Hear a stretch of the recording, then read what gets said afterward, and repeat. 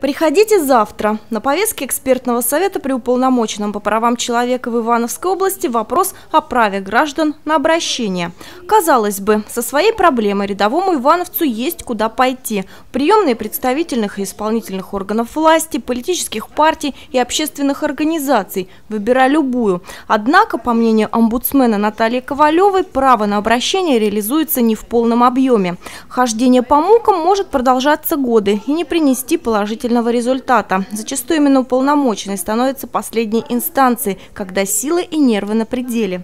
В 2016-м Наталья Ковалева получила на почту более 2000 жалоб. Плюсом к ним 700 письменных обращений и 400 человек приняла лично. Основная масса вопросов касалась соблюдения социальных прав. Это вопросы жилищного, пенсионного и социального обеспечения, а также связанные с охраной здоровья и медицинской помощью образованием, благоприятной окружающей средой, семейным правом.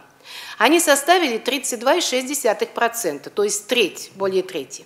По итогам работы экспертного совета органы власти получили ряд рекомендаций. В основу должен быть положен постоянный мониторинг организации работы с обращениями граждан. При необходимости нужно выезжать на место, чтобы проверить факты, изложенные в обращении, и пообщаться с автором лично.